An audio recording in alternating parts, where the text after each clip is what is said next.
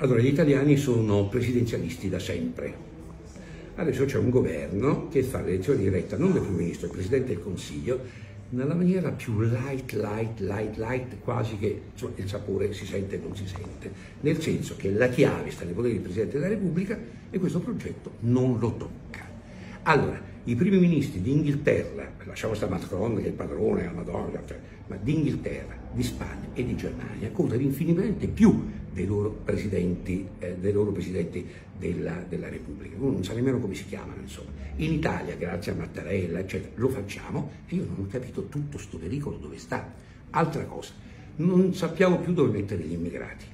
Arriva un santuomo socialista, Edi Rama, che se ne prende 36.000 all'anno e invece di dirgli grazie facciamo tutto questo casino. Ma non ho capito, se ne pigliasse 64.000, dove sta il problema? Ce ne abbiamo troppi, se ci alleggeriscono sotto la nostra tutela, della magistratura, della polizia, tutti quanti, ma perché tutto questo casino?